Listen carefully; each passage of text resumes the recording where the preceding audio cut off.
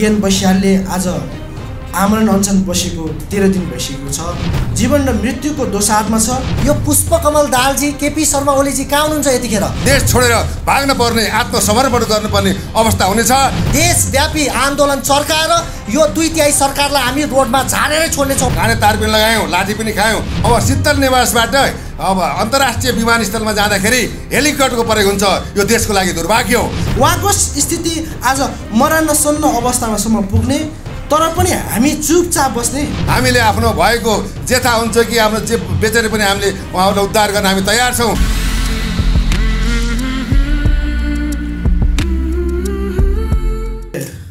अभियानका संयोजकज्यू ड्यासमा आसिन सम्पूर्ण साथीहरू र उपस्थित सम्पूर्ण पत्रकार साथीहरूमा सर्वप्रथम स्वीकार्नुहोस् नमस्कार। आज देश नेपाली आमा बलात्कृत भएको महिनौ दिन बितिसक्यो त्यही पनि नेपाली आमाले न्याय पाएकी छैनन्। उक्त न्याय पाउनको निमित्त न्याय दिलाउनको निमित्त सरकारलाई ध्यान आकर्षण गराउनको लागि शान्तिप्रेमी सामाजिक अभियन्ता केएन बस्याल विगत तेह्र दिनदेखि आमरण अनसन बस्नुभएको छ। उहाँले राष्ट्रिय तथा अन्तर्राष्ट्रिय साथसाथै नेपाल सरकारलाई र इन्डियन एम्बेसीलाई ध्यान आकर्षण गराउनको लागि र तत्काल लिम्पिया धुरादेखि लिपुलेकसम्म इन्डियन पक्षधरले जसरी नेपाली भूमिमाथि बलात्कार गर्यो त्यसका विरुद्धमा न्याय दिलाउनको लागि केएन बस्यालले आज आमरण अनसन बसेको तेह्र दिन भइसकेको छ। तर पनि सम्बन्धित पक्षले न त इन्डियन पक्षले न त नेपाल सरकारले कुनै पनि ध्यान आकर्षण भएको देखेको छैन। र यसका विषयमा कुनै पनि कुराहरू र कुनै पनि छलफल र बहस बनाइएको अवस्था छैन। त्यस कारणले गर्दा आज एउटा शान्तिप्रेमी योद्धा जो आज लिपुलेकमा दार्चुलाको लिपुलेकमा आमरण अनसन बसिरहेको छन् कि नेपाल आमालाई न्याय दिए भनेर। तर पनि नेपाल सरकारले त्यसलाई गम्भीरतापूर्वक ध्यान ध्यानकर्षण भएको हामीले देखेका छैनौँ। त्यस कारणले गर्दा आज नेपाली मातृभूमिमाथि बलात्कार गरिरहँदाखेरि सबैजना मौन जस्तो देखिएको छ। सबैजना शिथिल जस्तो देखिएको छ के अब हामी मातृभूमि नेपाल आमालाई न्याय दिलाउन नसक्ने नै हो त? पक्कै पनि होइन। केएन बस्यालले आज तिन करोड नेपाली जनताको भावना र इच्छा अनुसार आज लिपुलेकमा आमरण अनसन बसिरहेछन् कि नेपाली आमाले न्याय पाउनुपर्छ भनेर। तर आज उहाँको उहाँ कुनै व्यक्तिगत स्वार्थको लागि कुनै व्यक्तिगत फाइदाको लागि त्यहाँ आमरण अनसन बसिरहनु भएको छैन। उहाँ आफ्नो मातृभूमि र नेपालको राष्ट्र राष्ट्रियता बचाउनको निमित्त आमरण अनसन बसिरहनु भएको छ। उहाँको स्वास्थ्य स्थिति आज निकै गम्भीर अवस्थामा रहेको छ। यो कुरा यो कुरा पत्रकार साथीहरू मार्फत जानकारी गराउन चाहन्छु र उहाँले एउटा स्वतन्त्र रूपमा जसरी एउटा आमरण अनसन बस्नुभएको छ त्यो आमरण अनसन आज बसिरहँदाखेरि उहाँको आफ्नो स्वास्थ्य प्रतिकूल हुँदै गएको जुन अवस्था छ त्यसलाई हामीले गम्भीरतापूर्वक लिएका छौँ र सरकारले पनि लिनुपर्छ। आज राष्ट्र राष्ट्रियताको निमित्त केएन बस्याल आमरण अनसन बसिरहँदाखेरि उहाँको जीवनको रक्षार्थ तपाईँ हाम्रो कर्तव्य र जिम्मेवारी छ कि छैन भन्ने कुरा आज यहाँ नेपाली जनता सामु हामीले बुझ्नुपर्ने कुरा यहाँ व्यक्त गर्न चाहन्छु मैले। तपाईँ हाम्रो लागि तपाईँ हाम्रो मातृभूमिको लागि बलात्कार भइरहँदाखेरि न्याय दिलाउनुपर्छ भनेर केएन बस्याल आज आमरण अनसन बस्ने उहाँको स्थिति आज मरानसन्न अवस्थामासम्म पुग्ने तर पनि हामी चुपचाप बस्ने। उहाँको जीवनको रक्षाको निमित्त तपाईँ हामी नलाग्ने अब। उहाँले कुनै व्यक्तिगत फाइदाको लागि त लागेको होइन नि त। त्यस कारणले गर्दा म सम्पूर्ण आदरणीय दाजुभाइ तथा दिदीबहिनीहरू र सम्बन्धित स्थानीय सरकार र नेपाली सेनालाई उहाँको तत्काल उद्धारको निमित्त पनि म ध्यान आकर्षण गर्न चाहन्छु कि उहाँको तत्काल उद्धार गरी त्यस ठाउँबाट चाहिँ स्थानान्तरण गरेर उहाँको जीवन रक्षाको निमित्त तपाईँ हामी अब अगाडि बढ्नुपर्ने छ किनभने त्यो तपाईँ हाम्रो दायित्व र कर्तव्य र जिम्मेवारी पनि हो। त्यस कारणले गर्दा आज लिपुलेकमा केएन बस्यालको स्वास्थ्य अवस्था निकै गम्भीर अवस्थामा छ। त्यहाँ माइनस दस डिग्रीको तापक्रमको चिसो अवस्थामा पनि राष्ट्र राष्ट्रियताको लागि बरु आफ्नो प्राण आहुति दिन परे पनि म तयार हुन्छु भनेर बसिरहेका तपाईँ हाम्रो लागि बसेको हाम्रो राष्ट्रको लागि बसेका केएन बस्यालको जीवन यति बेलामा जीवन र मृत्युको दोसादमा छ। त्यस कारणले गर्दा उहाँको जीवनको रक्षार्थ तपाईँ हामीले आफ्नो ठाउँबाट आफ्नो दक्षबाट चाहिँ उहाँलाई सहयोग गर्न सक्छ। भौतिक रूपमा नैतिक रूपमा अथवा के कसरी गर्न सकिन्छ? हामीले सहयोग गर्नुपर्ने अवस्था यति बेला देखिन्छ। हाम्रो लिपुलेकदेखि कालापानीमा तिन सय पन्चानब्बे वर्ग किलोमिटर नेपाली भूमि मिचिरहँदाखेरि पनि सरकारले त्यसलाई ध्यान आकर्षण गराउन सक नसकेको खण्डले उहाँले चाहिँ सरकारलाई ध्यान आकर्षण गराउनुपर्छ भनेर र तिन करोड नेपाली जनताको बोली बोलिरहँदाखेरि आज उहाँ मृत्युको मुखमा हुनुहुन्छ। त्यस कारणले गर्दा म सम्पूर्ण सम्बन्धित निकायहरूमा म ध्यान आकर्षण गर्न चाह चाहन्छु कि यो राष्ट्र राष्ट्रियताको पक्षमा बोल्ने एक होनहार योद्धा सामाजिक अभियन्ता किरण बस्यालको जीवनलाई हामीले रक्षा गर्नको निमित्त तपाईँ हामी सम्पूर्ण एकजुट हुनुपर्छ र उहाँको जीवनको रक्षार्थ हामी सम् सम्बन्धित पक्षलाई ध्यान आकर्षण गर्न चाहन्छौँ र एक सचेत नेपाली नागरिकको परिचय दिई यो राष्ट्र राष्ट्रियता बचाउने अभियानमा तपाईँ हामी सम्पूर्ण सहभागी हुनको निमित्त म हार्दिक अनुरोध गर्न चाहन्छु। जुन हिसाबले हाम्रो लिपुवाधुरा लिपुलेक लगाएको सिमाना मिचियो यो विगत लामो समयदेखि हो बाहन्न सालमा नेपाल प्रहरीले त्यो भागमा गृह मन्त्रालय र नेपाल सरकारलाई चिठी लेख्यो गृह मन्त्रालयलाई चिठी लेख्यो। त्यसपछि गएर नेपाल प्रहरीले त्यो हामीलाई छ र पनि जग्गा चाहियो भनेर बाहन्न सालमा फेरि वन मन्त्रालयलाई चिठी लेख्दाखेरि वन मन्त्रालयले वनको जग्गा नेपाल प्रहरीलाई दिन मिल्दैन भनेर चाहिँ चिठी फिर्ता गरेको। मैले तथ्य भेटेँ। र यसरी त्यो तथ्य फिर्ता गर्दाखेरि आज नेपाल प्रहरी गएर त्यो ठाउँमा बसेको भए आज त्यो लिपु लेकको अलिकति भाग हाम्रो हुन्थ्यो र त्यो भाग आज फिर्ता नगर्दाखेरि आज इन्डियाको भयो। आफ्नै देशको प्रहरीलाई आफ्नै देशको प्रहरीलाई बस्न दिएन। हाम्रो देशकै हाम्रो उसले त्यो हिसाबले आज त्यो भूमि फिर्ता गर्नलाई प्राणको चाहिँ एउटा बाजी राखेर हाम्रो तिनजना साथी जो जानुभएको छ उहाँको एकदम जीवन मरणको अवस्थामा हुनुहुन्छ। र हामीले अब अपिल के गर्न खोज्यो? नेपाल सरकारले सुनेन। यहाँ सरकार कहाँ छ भनेर लाइट बालेर खोज्न पर्ने अवस्था भएको छ। जब एउटा जसरी महात्मा गान्धीले सत्याग्रह गरेर अब इस्ट इन्डिया सरकारलाई चाहिँ ब्रिटिस सरकारलाई जसरी हटाउनु भयो एउटा त्यसको लागि ज्यानको आहुति दिएर उहाँ चाहिँ प्राणको बाजी लगाएर गएको व्यक्तिलाई अहिलेसम्म नेपाल सरकारले कुनै पनि तथ्यबाट कुनै पनि दृष्टिकोणबाट उहाँहरूको चाहिँ मागलाई सम्बोधन गरेको छन् हेरेको छन् व्यवस्था गरेको छ। यसमा साह्रै अब दुःख व्यक्त गर्छु यसैभन्दा सम्पूर्ण सहयोगी मनहरूको हातहरूलाई के भन्न चाहन्छु भने उहाँहरूको अब आधा आधा घन्टामा उहाँ बिहोस हुने अनि भनौँ न त्यस्तो अचेत अवस्था छ।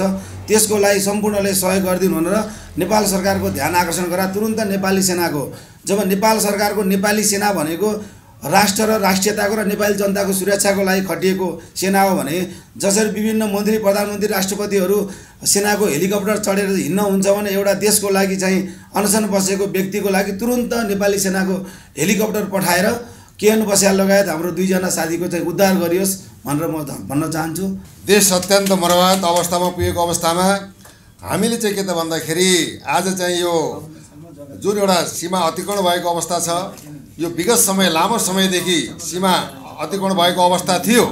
र वास्तवमा यहाँ बुझाउनु पर्ने कुरा के रह्यो भन्दाखेरि दुई हजार सन्ताउन्न अन्ठाउन्न वर्ष पहिला लिपुलेक काला कालापानीलाई भारतले अतिक्रमण गरेको अवस्था थियो। उन्नाइस सय बहत्तरमा भारत र चिनको चाहिँ युद्ध हुँदाखेरि चिनले लखेड्दै लखेड्दै जाँदा भारतीय सेनाहरू लिपुलेक अ, कालापानीको चाहिँ हाइटमा गएर बसिसकेपछि ब्याक हुने बाध्यता थियो। र अप्रत्यक्ष रूपमा उसले कब्जा गरेको थियो भने अहिले आएर के त भन्दाखेरि उसले आफ्नो राजनैतिक भूभागमा नेपालको भागलाई आफ्नो राजनैतिक नक्सामा उसले त विश्वव्यापी रूपमा एउटा सार्वजनिक गरिसकेपछि यो चाहिँ राष्ट्रिय रूपमा यो राष्ट्र राष्ट्रियता रा सार्वभौमसत्ता सम्पन्न एउटा स्वतन्त्र राज्यमाथि एउटा नाङ्गो नाच र नेपाल आमाको बलात्कार र चिरहरण गरेको अवस्थामा हामीले एउटा के भन्दा चारवटा संस्थाका अभियन्ताहरू मिलेर हाम्रो चाहिँ स्वागत नेपालज्यूको चाहिँ अगुवाईमा हामीले यो कार्यक्रमलाई छेडेका थियौँ।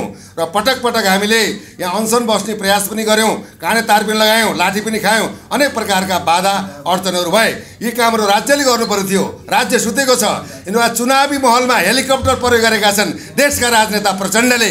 आज देशको राष्ट्र र राष्ट्रियता बचाउनको लागि हाम्रा चाहिँ युवा योद्धाहरू आज आफ्नो ज्यानको बाजी लगाएर स्वयस्फूर्त रूपमा एउटा चाहिँ के भन्दाखेरि यो देश गुमेको एउटा भूभागलाई बलात्कृत भएको चाहिँ आमालाई सुरक्षा संरक्षण र फिर्ता गर्नको लागि आफ्नो ज्यानको बाजी राखेर आज यो आवरण अनसनको लागि लिपोलोक लिपोलेकतर्फ प्रस्थान गरेको अवस्था थियो। यसबारेमा हामीले उहाँलाई स्वागत गरेका कुरा पठाएका कुराहरूलाई अब हाम्रा पूर्व वक्ता हाम्रा श्रद्धेय स्वागत नेपालज्यूले भनिसक्नु भएको छ। मूलत प्र- प्रश्न के रह्यो भन्दाखेरि आज एउटा के भन्दा आफ्ना नाता गोता आज देशको राष्ट्रपति एउटा एयरपोर्टमा जाँदाखेरि शीतल निवासबाट एयरपोर्टमा जाने एउटा एउटा जुन देशमा एउटा के भन्दाखेरि एउटा खानको लागि बस्नको लागि लत्ता घाँस बाँस कपास र शिक्षा स्वास्थ्यको चाहिँ अनुभूति नभएको यो नाङ्ग नाङ्गिएको राज्यका यो नेतृत्वहरूले एउटा के भन्दाखेरि अब शीतल निवासबाट अब अन्तर्राष्ट्रिय विमानस्थलमा जाँदाखेरि हेलिकप्टरको प्रयोग हुन्छ। यो देशको लागि दुर्भाग्य हो। त्यसैले हामी के चाहन्छौँ भन्दाखेरि आज हाम्रा अब केएन भुषालज्यू सोफट लिम्बुज्यू र मिसन नेपालका केन्द्रीय सदस्य चाहिँ रमित बलामेज्यू तिनजनाहरू चाहिँ के जानुभएको छ भन्दा देशलाई बचाउनको लागि देश विदेशमा रह रहनुभएका एउटा राष्ट्रिय योद्धाहरूलाई यो राष्ट्र राष्ट्रियता भनेको के हो? राष्ट्र भनेको आफ्नो आमा भन्दा पनि प्यारो हुन्छ। जननी जन्मभूमि छ स्वर्गादेवी गरिएपछि भनेर भनिएको छ। यस्तो चाहिँ मातृ आमा बाबुभन्दा पनि ठुलो देउता राष्ट्रदेवलाई बचाउन गएका तिन करोड नेपाली देश विदेशमा रहनुभएका नेपालीहरूको नेतृत्व गरेका व्यक्तित्वहरू आज लिपोलेखको जाने क्रममा एउटा टिङ्कर भन्ज्याङ भन्ज्याङ भन्ने ठाउँमा गएर अड्किनु भएको अवस्था छ। त्यहाँको स्थानीय प्रशासनसँग पनि हामीले कुरा गरेका थियौँ। मैले चाहिँ गृह सचिव हाम्रो चाहिँ प्रेम कुमार राईज्यूलाई पनि म कुरा गरेको थिएँ र अहिले म भेट्न पनि जाँदैछु। प्रधानमन्त्री कार्यालय पनि यो कुराहरू भएका छन्। आज व्यक्तिगत रूपमा चुनावी प्रचारको लागि राज्यको ढुकुटी सिद्धाएर आफ्नो यस आरामको लागि यिनीहरूले मोज मस्ती गरिरहेका छन् हाम्रो हामीले तिरेको करलाई दुरुपयोग गरेका छन् रगत र पसिनामा रमाइरहेका छन् भने आज राष्ट्रको लागि एउटा सादात प्राप्त गरेर मरेर देशलाई बचाउँछु भनेर सन्देश दिइदिन गएका युवाहरू न तल न माथि भएर चाहिँ हिउँले पुरिएको अवस्था छ। यदि सही समयमा नेपाल नेपाल सरकारले यदि उद्धार गर्न सकेन नेपाली सेनाले उद्धार गर्न सकेन भने यसको भइ परिआउने गम्भीर परिस्थितिको जवाबदेही नेपाल सरकारले र वर्तमान प्रधानमन्त्री केपी ओली र राजनेता बनाउँदा प्रचण्डले लिन जरुरी छ। यसको बावजुद पनि देशको चाहिँ एउटा चाहिँ के भन्दा मोदी जुन भारतीय विस्तारवादको खलनायक अन्तर्राष्ट्रिय आतङ्ककारी गद्दारले पनि यसको जिम्मेवारी लिन जरुरी छ। त्यसैले सम्मानित पत्रकार जगतहरूमा हामीले यही सन्देश दिन चाहेका हौँ। यदि हामीले सक्दैन भन्छौँ भने हामीले आफ्नो भएको जेथा हुन्छ कि आफ्नो जे बेचेर पनि हामीले उहाँहरूलाई उद्धार गर्न हामी तयार छौँ। एवं हामी चाहिँ सरकार निकममा नालायक र नपुंसक निक्सन छ। एउटा राष्ट्रिय मुद्दामा सरकारले बचाउनु पर्ने नेपाली सेना गएर त्यहाँ बचाउनु पर्ने लड्नु पर्ने गुमेको भूभाग फिर्ता लिने क्रममा देशका युवाहरूले आफ्नो ज्यानको बाजी लगाएर आज चाहिँ मरे मरौँला देशकै लागि भनेर गएका युवाहरू हिउँले पुरिएर न त तल आउन सक्ने न माथि आउन सक्ने अवस्था भएको अवस्थामा राज्य मौन छ भने यो राज्य नै छैन यो सरकार नै छैन यो सरकारलाई कदापि मान्दैनौँ। तर यो चाहिँ हाम्रो आवाजलाई यदि कुल्चिन खोज्यो र तत्काल उद्धार गर्न सकेन भने सम्झनुहोस् यो सरकार नाङ्गियो यो देश मात्र होइन यो देश छोडेर भाग्न पर्ने आत्मसमर्पण गर्नुपर्ने अवस्था हुनेछ। त्यसैले हाम्रा पत्रकार तेस्रो आँखाको रूपमा रहेका व्यक्तित्वहरूले यो राष्ट्रिय राष्ट्रिय रूपमा रहेको राष्ट्रिय स्वाभिमान र एउटा सार्वसत्ता सम्पन्न एउटा बलात्कृत भएको नेपाल आमाको चिरहरण भएको एउटा सन्देश दिएर फिर्ता गर्नको लागि आफ्नो ज्यानको बाजी राखेर गएका तिनका तिन तिनजना सपुतहरूलाई अविलम्ब तत्काल आजै हेलिकप्टर पठाएर उद्धार गरोस् भन्ने हामीले यही मञ्चबाट चेतावनी दिन चाहन्छौँ। धन्यवाद। नमस्कार। जय जननी। जय मातृभूमि। हाम्रा तिनजना अभियन्ता साथीहरू चाहिँ आज दार्चुलाको कुनै स्थानमा फसिरहेको छ हिउँपात भएको कारणले माथिबाट पनि माथि पनि जान सक्नु भएको छैन र तल पनि ओर्लिन सक्नु भएको छैन। र केन भुस्यालजी आज तेह्रौँ दिनसम्म आमरण अनसनमा हुनुहुन्छ पानी पनि खानुभएको छैन। यो उहाँले यो देशको लागि गरिएको हो। यो उहाँ कुनै भ्रष्टाचार गर्न जानु भएको छैन कसैको बलात्कार गरेर जानु भएको छैन। एउटा मातृभूमि बचाउनु पर्छ भनेर जानु भएको छ। यो पुष्पकमल दाहालजी केपी शर्मा ओलीजी कहाँ हुनुहुन्छ यतिखेर? उहाँहरूको जीवन अप्ठ्यारोमा परेको छ। कुनै पनि बेला हिमपात हुने हो भने त्यो हिमपातले उहाँहरूलाई हराउन सक्छ गायब गर्न सक्छ। उहाँहरूको जीवन रक्षाको निम्ति हामी तिन करोड नेपाली जनता अब एक हुन जरुरी छ। नेपाल सरकारले हेलिकप्टरको व्यवस्थापन गरेर उहाँलाई यहाँ राजधानीमा फर्काउन सक्दैन भने हामी तिन करोड नेपाली जनता जापान अमेरिका विदेश नेपाल हरेक क्षेत्रबाट पैसाहरू सङ्कलन सहयोग रकमहरू सङ्कलन गरेर हेलिकप्टर रिजर्भ गरेर उहाँलाई तुरुन्तै हामीले बचाउन जरुरी देखेको छु। त्यसै गरी भोलि तिनजना हाम्रा अभियन्ता शेफर लिम्बू केन भुसालजी त- त्यसै गरी रिम हाम्रा हाम्रा मिसन नेपालका सदस्य पनि हुनुहुन्छ रमित बलामीजी।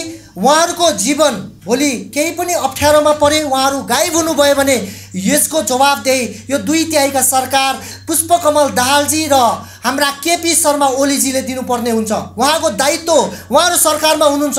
नेपाली जनता आज हिउँ भएको ठाउँमा फसिरहँदाखेरि सरकारको दायित्व उहाँलाई बचाउने नेपाली जनतालाई बचाउने नाना थरी हेलिकप्टर चार्टर गरेर नाना थरी ठाउँमा जान सक्ने जनताको अप्ठ्यारो परेको ठाउँ उहाँलाई बचाउन सक्दैन भने यो दुई तिहाई सरकार अहिले नै खारेज हुनुपर्छ।